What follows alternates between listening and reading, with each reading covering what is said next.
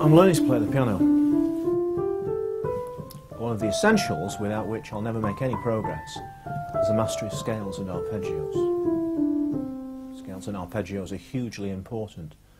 They provide the foundation of the technique necessary to make progress beyond any intermediate level.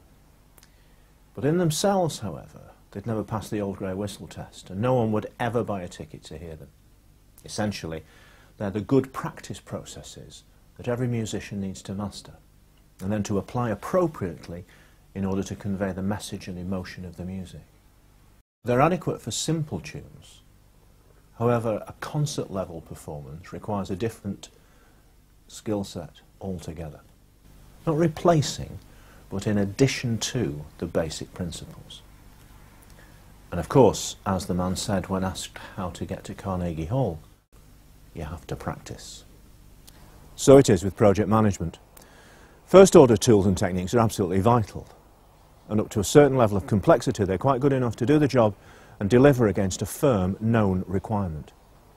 But as the complexity increases, simply following the rules isn't enough. Project manager needs to be able to adapt, modify and improvise, applying the first order tools to the specifics of the task at hand, but in addition deploying a range of less prescriptive techniques and methods as and when needed.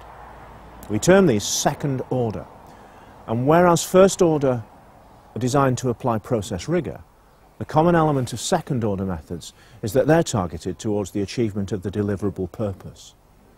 Put in a different way, first order is about doing things the right way, but second order is about doing the right thing, not just in theory, but in practice.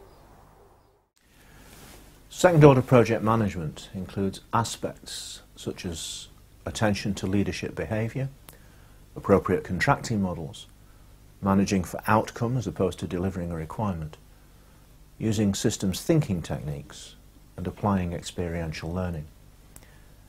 I'll talk about each of these in turn in the next set of videos.